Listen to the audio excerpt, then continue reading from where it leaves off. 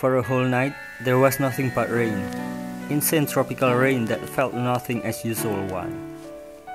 We had just started our journey, so we didn't want to stop on the very first day and passed every city we wanted to paint in the first place. We rode almost 200 kilometers through the rainstorm, and finally we reached Cilacap. We met a friend and stayed for a night at his graffiti shop. Selamat pagi. Pagi. Apa kabar? My goodness, I feel so aduh. I cannot be blogger again. Iya, hari ini kita. Hari ini kita nyanyi. Baru bangun, mau mandi. Yes, baru bangun it's 11 a.m. We was planning to go at 5. Are you sure? He Said we need to, oh meet the sunrise on the beach. Maybe we will meet sunset there now. Yes.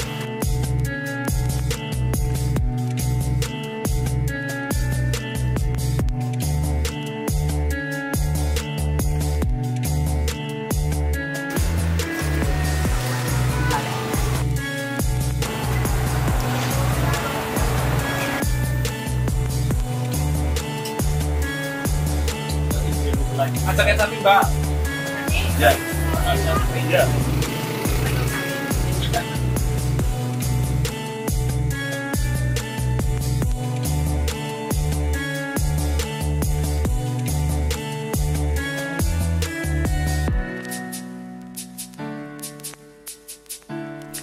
town of Cilacap is a seaport on the southern coast of Java. The city's harbor is protected by Nusakambangan. It's a prison if to talk in easy words. Although there are also hopes that the island can be developed as a tourist destination. Cilacap offers several tourist attractions highlighting Banyumasan culture. The town has a number of beaches, and the most popular being Teluk Penyu, where we left our artwork.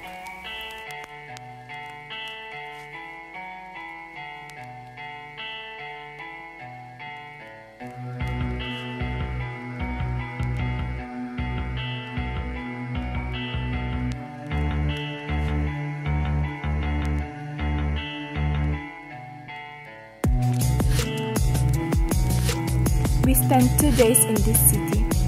We couldn't finish our collaborative marine-inspired wall with Onya in one day. The reason was the constant rain. Instead, we had a lot of time for conversations and learning about the struggle of local artists. Unique thing about creative communities from small towns is a fight with surrounding noise and anxiety balanced with extreme support they share. How marvelous and warming was to feel that.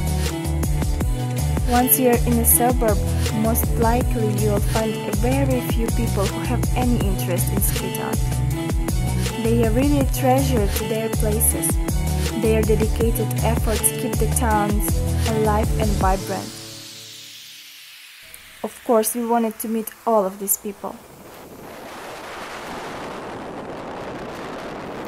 On the third day of the trip, we finished the wall, packed our painting stuff, and got back on the road.